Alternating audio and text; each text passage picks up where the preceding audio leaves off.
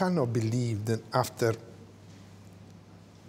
one hour and a quarter, you come up with this. Thanks, man. Thank you.